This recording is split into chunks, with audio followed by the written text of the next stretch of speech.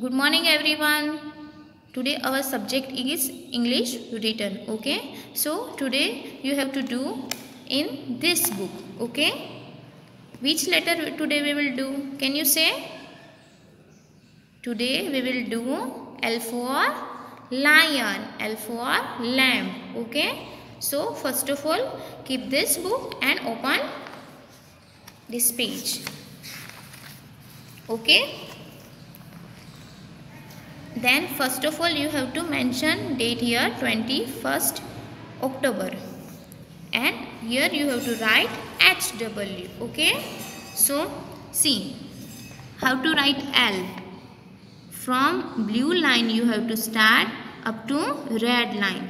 From blue line you have to start up to red line. You should go up to red line okay?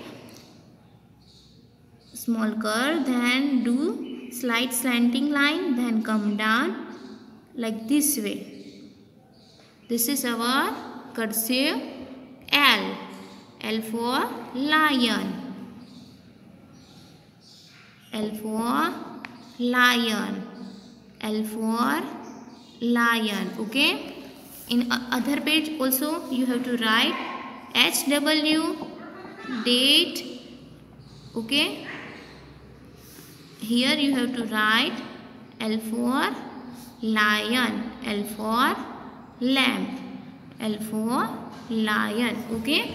So this first page and second page both are in your homework. Okay. Thank you. Bye bye. Have a nice day.